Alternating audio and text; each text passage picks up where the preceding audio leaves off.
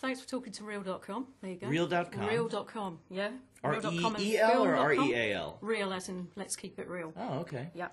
Talking about hangovers, Mm-hmm. what's your poison and what do you do the next day to cure the sore head? Uh, Poison is uh, anything that's mind altering, uh, but uh, I'm a glue sniffer. I like to s- sniff glue. cocaine mainly, but also vodka, gin, um, uh, scotch. I love uh, mushrooms. beer, wine, uh, champagne, uh, cognac, The I like to do the whole peyote. wide range, vanilla then, basically. extract, uh, al- Mm. rubbing alcohol. Yeah. Mhm. Yeah. What's the, the weirdest thing you've kind of collected, or have you collected anything after a bachelor party? Where you said the Um, next day, what the hell is this and how do I get Right, of right, it? right. I would right. say panda balls, What are they? testicles of a Oh, I, panda. oh, I see. Right, okay. Sorry, I thought it was a. No, no, no. US It's not. thing, It's just it's kind of illegal in in certain countries, but uh, they're beautiful, so I like to collect them. detached from the panda. Of course. what a weird question that was. Well, I just. You think I just have pandas and just have a little window where the no, you're right because it's so normal to just have the balls. Right. it's weird. Okay. I mean, Phil and Doug, uh, basically, what's their relationship?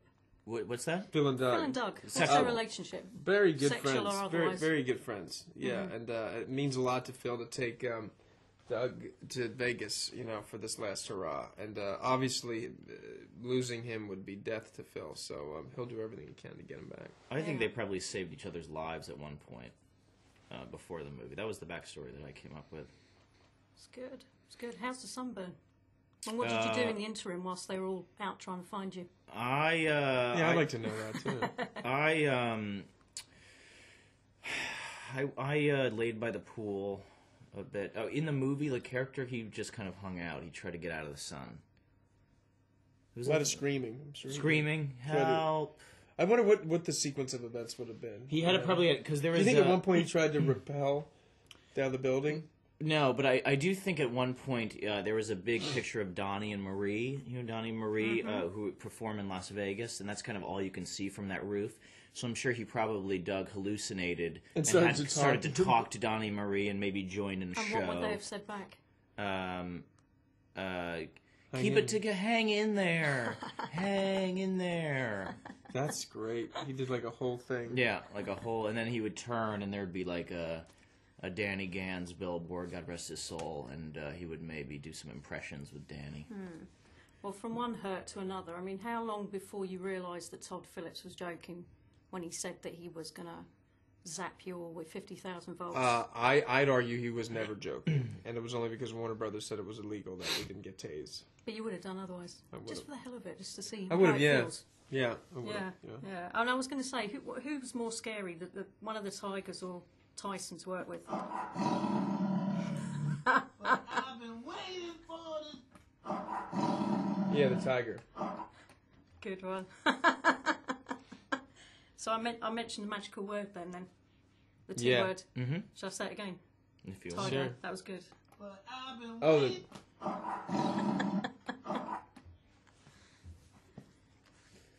We could just carry on playing we with could, that all couldn't the we? time, Yeah. couldn't we? it's completely thrown me there. If and when the big time comes, obviously your mates in real life, will you be relying on Bradley to provide some bachelor party entertainment? Uh, we're not we're not bachelor party guys. Yeah. Uh, so the four of us in the movie don't have any crazy stories, and uh, I I know that uh, I've been married and I didn't have a bachelor party, and that certainly if I uh, get married again or Justin gets married, I don't think we'll have a bachelor party. But uh, I do rely on Bradley for a lot of things in my real life. So uh, if I were to ever have a bachelor party, then yes. And you both got quite a connection to New York, so how does it feel to be in the American version of Paris Je t'aime? Oh, phenomenal! Yeah. Uh, it was cool. I got to work with the Hughes brothers, which was great, and I got to work with Justin. So um, it was. It, it, it's always sort of magical shooting in New York. He just finished finished a whole movie in New York. Uh, I've never had that pleasure, but um, I love being just being on the streets and filming it. It's kind of a dream, man. Don't Wasn't it just sick? Yeah, I love. I mean, for me, I, I've lived. I lived in New York for a long time, so I love kind of riding my bike to work. It's you know, it's a, it's a- Totally different environment, isn't Yeah, it? it's great. And I heard that um, the director, Todd Phillips, was quite a hustler.